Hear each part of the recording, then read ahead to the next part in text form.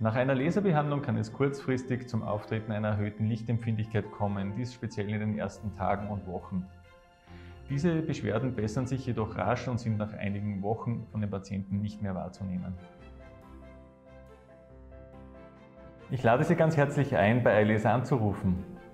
Unser Team kann Ihnen viele Fragen beantworten und Ihnen bei der Suche nach einem geeigneten Termin behilflich sein. Ich freue mich darauf, Sie bei iLaser begrüßen zu dürfen.